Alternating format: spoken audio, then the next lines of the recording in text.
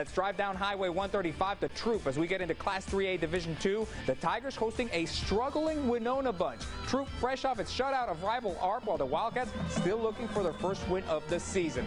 Third quarter, Troup is going to punt right here on fourth down to Winona's and Armion Fordo right here. Look at what he does. And the Wildcats have a lot of this speed, folks. And he's going to take this ball down the sideline and then he cuts it back across midfield, and then he gets away from everybody. That's going to be a touchdown for Armion Ford for one of the Winona Wildcats. As that's a Player of the Night nominee as well. But Troup does come away with a 24 to 15 victory.